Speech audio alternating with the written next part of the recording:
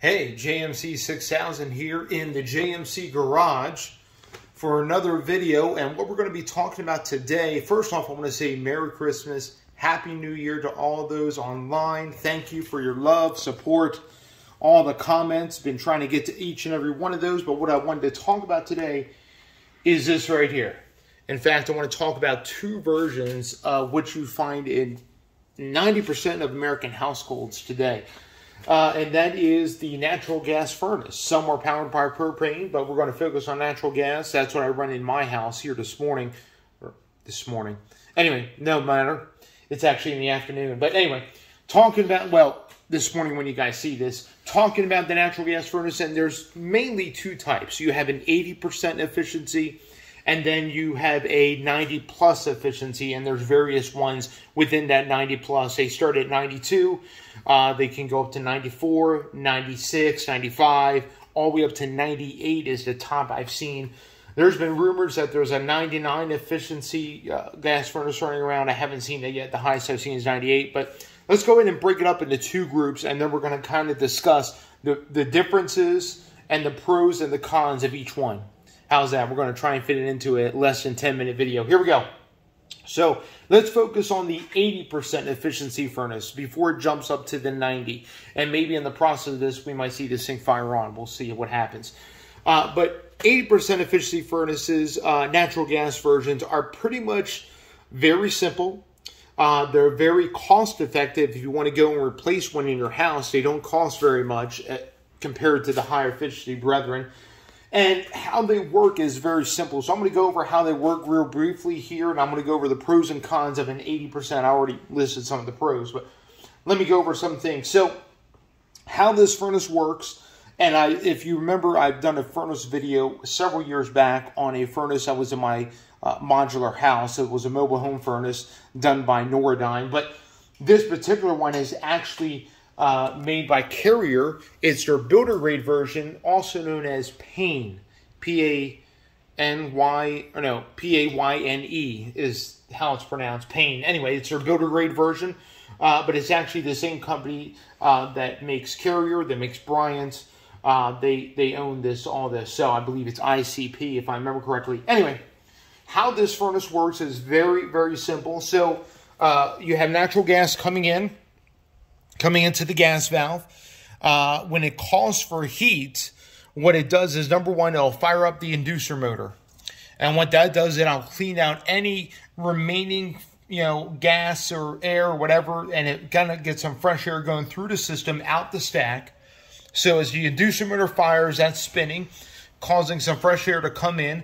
And then once it does that for maybe about 30 seconds, it'll call for heat. Uh, I'm sorry, it's already calling for heat. It'll call for the hot surface ignition, um, a hot surface igniter, which is in here, which will come on.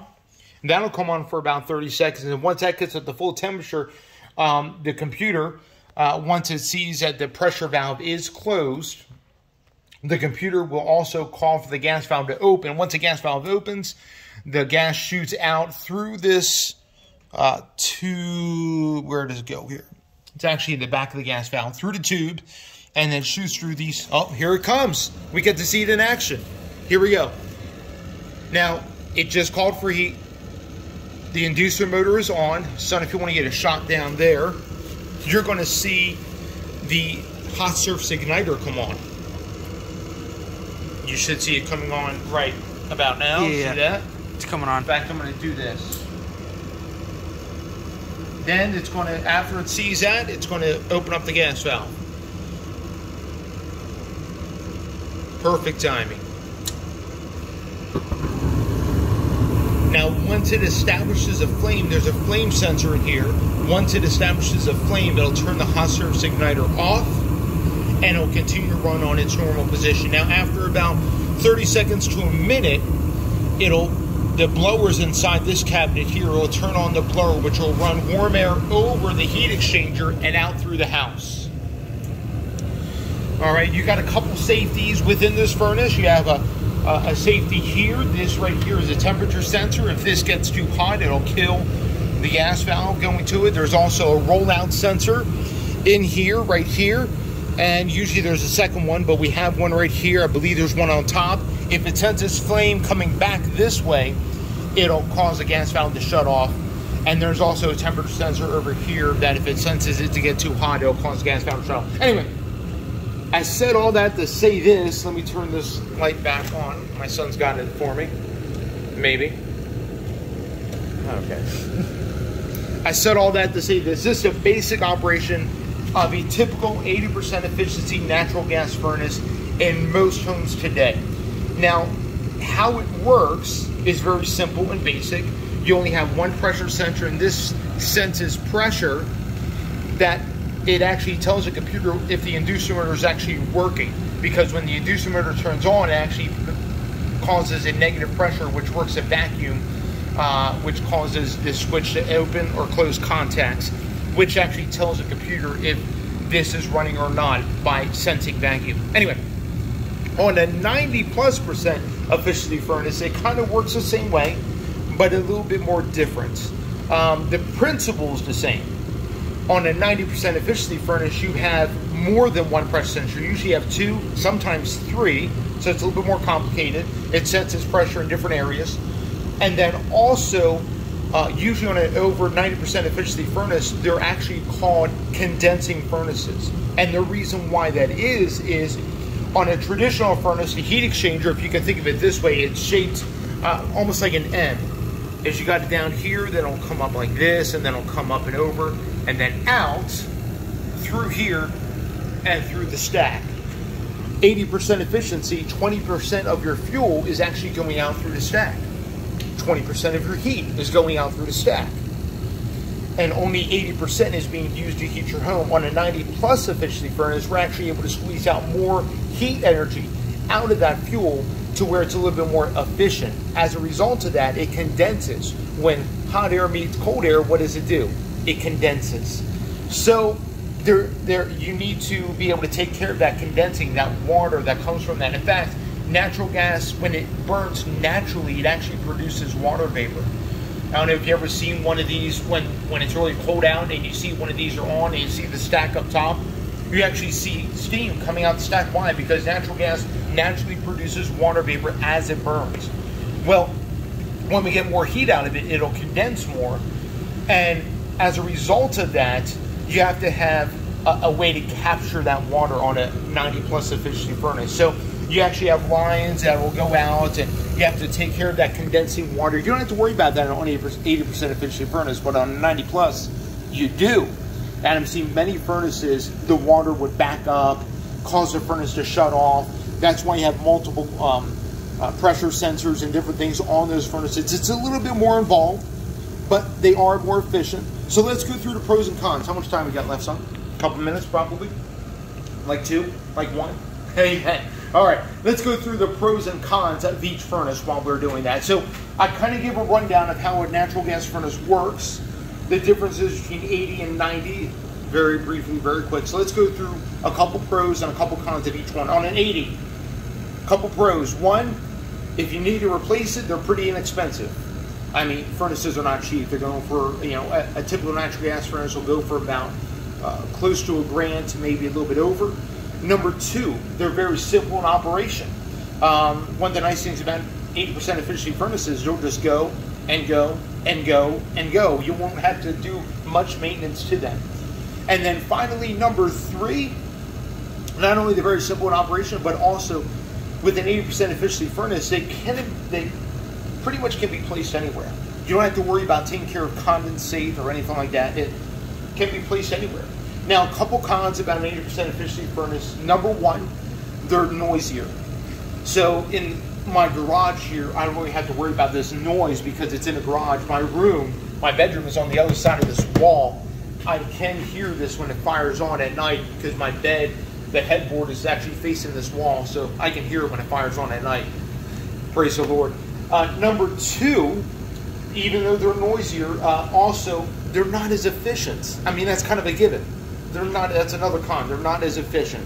You know, if it's a sixty thousand input BTU input going into for fuel, you're only going to see about fifty-five thousand go out for heat. I'm sorry, not even that.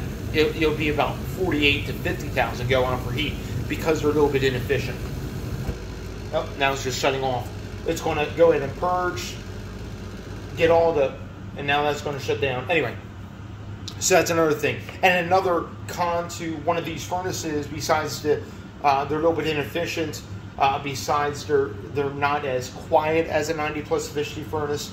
Um, another con is the fact that uh, this exhaust stack does get pretty hot. Depending on where you are in the garage, it's not going to matter. In fact, I want it to get a little bit warmer, but it may be in a space where space is kind of tight. You know, you got to find some way to insulate this. Usually, they'll do a double wrap on this exhaust pipe. Anyway, that's some cons to a 80% efficiency. Now, some pros and cons to a 90 plus efficiency furnace.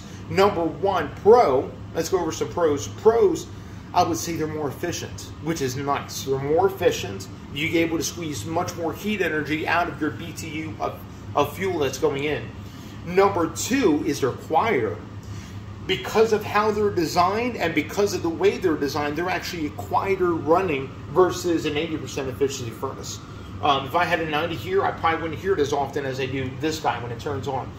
And then finally, number three, um, what's nice is that the exhaust piping can be done without having this uh, metal piping. It can be done with PVC because the, the, the flue gas temperature is lower because you're more of it, uh, more of the uh, temperature is going into the house versus going out the flue.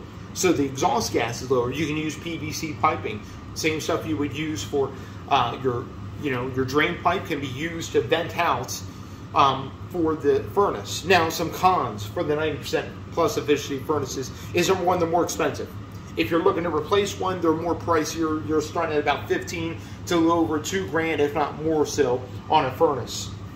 Number two, you have to worry about where the condensate's going.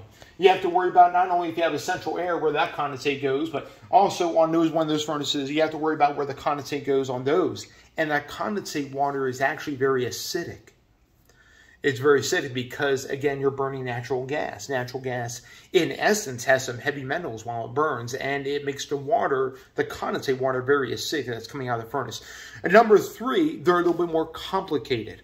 Again, you have more moving parts. You got more pressure sensors. You got, uh, you know, you got to take care of the condensate water. If that happens to back up, it can cause issues with the furnace running. They're not as reliable they involve they involve a little bit more maintenance versus the 80% efficiency furnace. So these are the things you got to weigh into pros and cons of an 80 versus a 90 plus and what you need for your house. This time of year, many people are replacing their furnaces. I know it's the middle of winter, but many shops are running, hey, if you buy an air conditioner, you can get a furnace free. If you buy a furnace now, you can get an air conditioner installed for free, stuff like that when I'm looking into my new home, uh, hopefully here next month, I got to do the same thing for my house. I got to look at getting a furnace installed. Why? Because it's a 94 and it still runs the original furnace and air conditioning system. Definitely needs to be replaced. So I'm going to be documenting that as the time comes. But anyway, I just wanted to go through that. Many people have questions about it. Again, this is JMC 6000, JMC Garage. If you have any questions, comments, please leave that. I'm going to look for those.